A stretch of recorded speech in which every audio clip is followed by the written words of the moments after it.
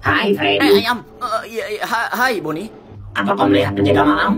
Dia tidak memakai kostumnya lagi sekarang. Haha, kau tahu kan dia orangnya seperti apa? Ya, sepertinya tadi aku menemukannya. Tetapi itu sangatlah sulit karena dia memakai kostum yang sama seperti Freddy. Sepertinya tadi dia ada di sini, tapi entah ada di mana. Kau bisa mencarinya di tempat lain. Kau tahu, berkeliling. Penjaga malam! Aku akan menendang kamu!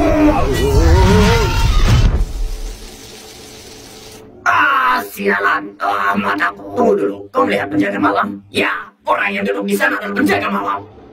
Si.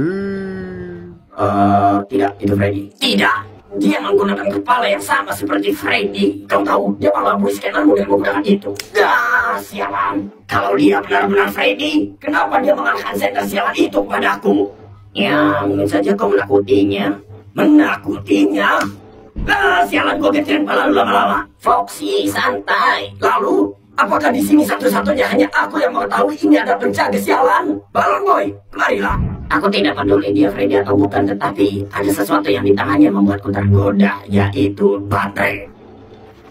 Sudah cukup dengan omong kosong ini. Beritahu mereka kalau kau ada penjaga malam. Kau selalu mencari masalah ya, Foxy. Hmm, baiklah. Di mana Freddy? Tidak mungkin di satu tempat ada dua Freddy. Freddy! Oh, di situ kau rupanya. Kau lihat, di sini ada dua Freddy. Wah, keren. Boni, demi Tuhan, aku akan menambah chipsetmu. Tunggu dulu, ada apa ini? Kita sedang mencari penjaga malam. Itu penjaga malamnya!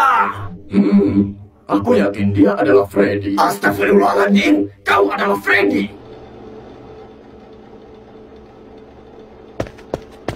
Hei, mau ke mana kau? Aku keluar dari sini. Aku tidak tahu dari mananya yang membingungkan. Boni, dengarkan aku. Oh, tunggu dulu. Pukul berapa ini? Halo semuanya, Hei, Mangle. Pukul berapa ini? sekarang pukul 5.59 Pukul 5.59. Hmm, kau lihat, dia ada penjaga malam. Penjaga malam. Penjaga malam. Batek.